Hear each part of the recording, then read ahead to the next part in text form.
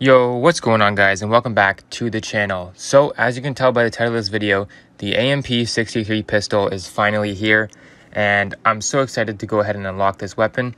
There's of course three different ways that you can unlock it. But before we get into that, I want to quickly mention that this video is sponsored by DigiZani. This website will allow you guys to purchase in-game currency, video games, and boosting services.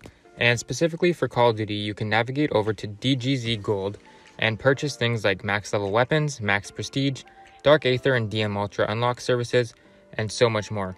Make sure to use code ERADICATE for 5% off your purchase.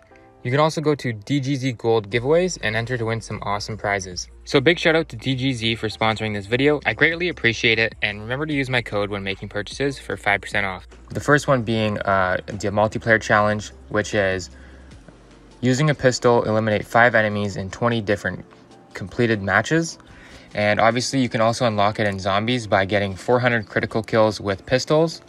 And you can also go ahead and just purchase the bundle if you want. Uh, it's called Gamma Ray, and basically it's a thousand COD points.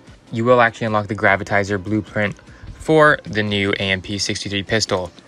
So what I do recommend for you guys to do to actually unlock this is just simply play zombies. 400 critical kills really isn't a lot, and you guys are probably going to be actually saving time compared to getting 5 kills in 20 different matches in multiplayer.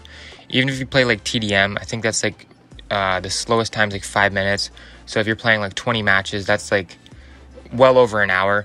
Whereas if you're just playing zombies, you can just easily get 400 critical kills with pistols, especially running like dual wield Diamattis and stuff like that. So I hope you guys did enjoy this quick little guide on how to unlock the new AMP-63 pistol. And if you did, be sure to hit that like button and consider subscribing for more. And with all that being said, guys, my name is of course Eradicate, and I'm out. Peace.